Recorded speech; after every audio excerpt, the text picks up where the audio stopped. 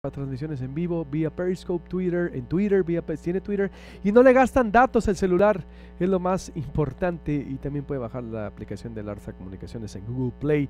Ayer hubo una manifestación contra la violencia en Hermosillo. Eh, Priscila Cárdenas, nuestra eh, reportera eh, especializada en asuntos de transparencia, estuvo ahí. ¿Cuál es tu valoración, Priscila, de, esta... Mm, manifestación que es simbólica, ciertamente no fue multitudinaria, pero simbólica y representativa, Priscila. Muy buenos días, Les Alberto, te saludo y saludo a nuestros radioescuchas. Así es, ayer se llevó a cabo esta manifestación contra la violencia en Hermosillo. Hubo alrededor de 200 personas que se congregaron a protestar contra los hechos delictivos que han ocurrido en la ciudad de Hermosillo. Este grupo fue convocado mediante redes sociales. Hubo algo de desorganización, sin embargo, empezó puntualmente a las 7 de la tarde en la escalinata de la Universidad de Sonora. Bueno, toda la gente con el propósito de exigir mayor seguridad en la ciudad.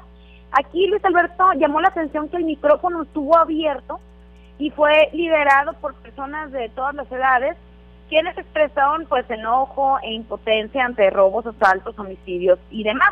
Cualquier persona que tuviera la iniciativa de tomar la palabra podía hacerlo. Entre los que se animaron estuvo Rubén Munguía Chong de la Colonia Periodista, el activista Diano Coronado, también estuvo Ernesto Figueroa del Congreso Nacional Ciudadano, entre otros. Pero aquí lo importante fue que cualquiera que quisiera expresar algo, más que nada a mí me pareció un evento de desahogo, ¿no?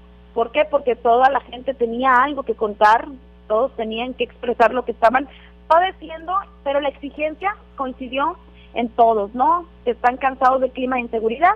Y aunque el propósito del evento, Luis Alberto, no era bloquear la calle, el contingente se organizó ahí mismo para protestar, obstruyendo el tránsito vehicular.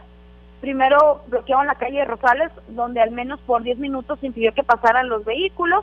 Esto provocó congestionamiento vial molestia entre algunos eh, automovilistas, sin embargo también hubo conductores que mostraron empatía con lo que estaba sucediendo y posteriormente fue el Boulevard Luis Encinas también por cinco minutos.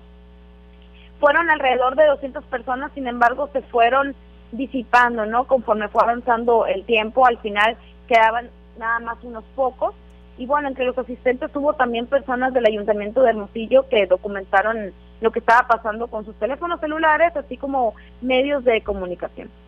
¿Cómo, viste? ¿Alrededor de 200 personas? Así es, alrededor de 200 personas. Había personas de todas las edades, incluyendo niños, había bastantes estudiantes de la Universidad de Sonora y personas, bueno, de, de la tercera edad también. Era bastante gente y se veían de todos los estratos eh, sociales y bueno, me pareció más que nada un evento de desahogo, de desahogo, no, no tanto una marcha como se convocaba desde un principio, ya que el micrófono estaba abierto y cualquiera que quisiera expresar lo que estaba sintiendo podía hacerlo. Un evento de desahogo yo creo que eh, pues va a ser uno de algunos que creo que va a haber en la ciudad, no creo que esto o se acabe porque hay una organización social importante que se está dando y eso es la clave, lo acaba de decir ahorita Jorge Restrepo y hay que estar muy al pendiente, eh, Priscila. No sé así tengas algo más que decir. Así es, estaban organizando para llevar a cabo ahora sí una marcha en, en esta semana o la semana que entra y bueno, este también se estaban organizando para llevar a cabo pues otro tipo también de manifestación con el mismo propósito de exigir mayor seguridad. Muy bien, te agradezco mucho. Gracias, Priscila.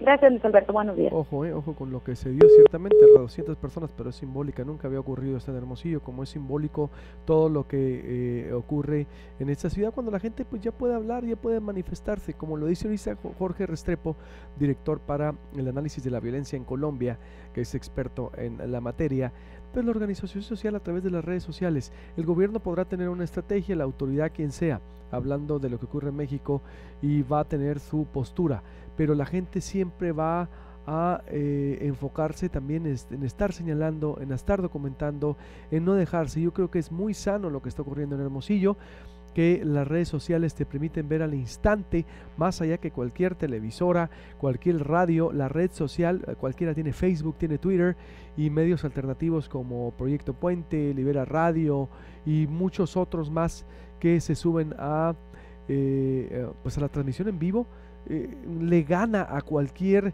boletín de prensa, a cualquier interpretación, porque lo que se ve ahí es lo que está ocurriendo y la gente está interpretando. Entonces la estrategia también tiene que ir encaminada hacia allá, porque la gente se informa al instante, al momento, al desnudo, sin censura, a través de red social.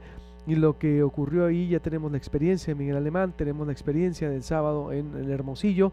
Eh, la gente denuncia, la gente no se calla, no se va a callar en verdad, si creen que los gobiernos, que la gente se va a callar, no se va a callar.